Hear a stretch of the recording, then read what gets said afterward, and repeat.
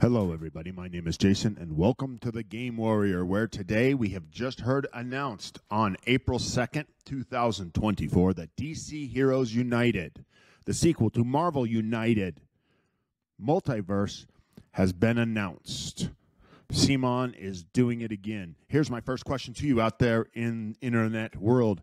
Are you ready for another Marvel United? Excuse me, a United. Are you ready?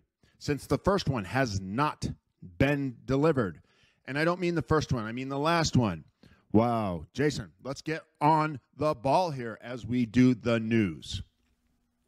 If we do this, we will get a free gift. It is over on Gamefound, as everyone should know by now that DC has made a deal with Gamefound and all of their stuff will be there.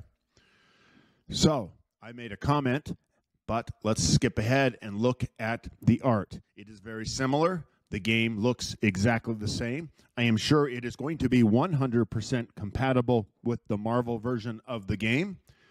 Here is a question for you out there in internet world. Does this game have design space for a full DC set of heroes? Do you remember years ago, what was it, 30 years ago when Magic the Gathering came out? No one knew that it had the design space to keep going this long.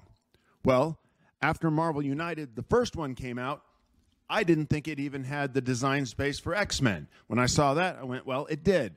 And now it appears to have the design space for multiverse.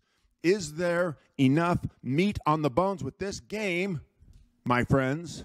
Is there enough meat on the bones for another full campaign? So that these characters feel like the characters we are familiar with, and at the same time, that the mechanics are new and fresh and it expands. Does it have enough meat on the bones?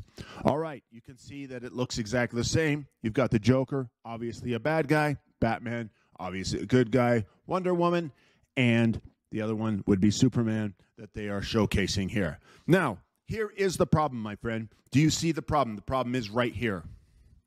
This is it unless you are a huge DC fan, this is it. You got Superman, you got Batman, you got Wonder Woman. Everything else, eh. Maybe Aquaman, eh. Eh. DC. Full disclosure here, I used to own a comic book store.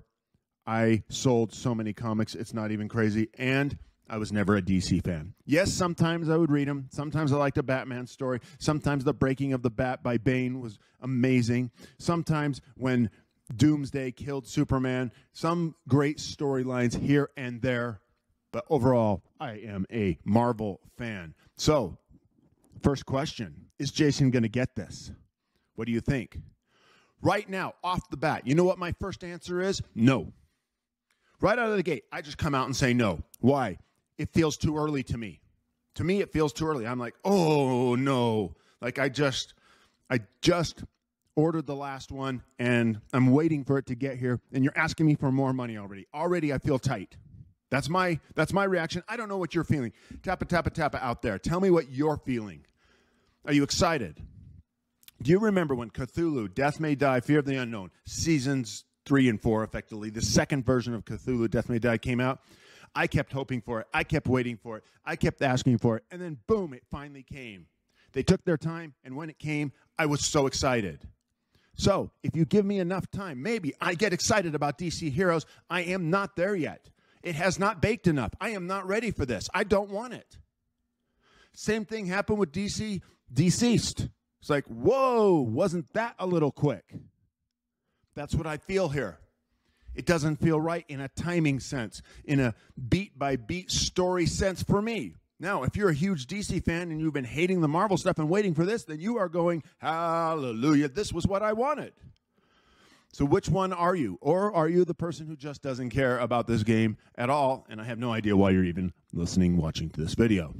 Yes, Zee Garcia over the Dice Tower rated Marvel United as number one game. Tom Vasel, number 10. Mike DiLisio, 17. And the people said 26.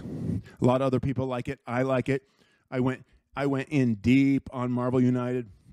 I went all in almost for X Men, and I missed the first one, so now I've been catching up. Anyways, that's all there is to say. it's just Marvel United in a DC skin. What do you think?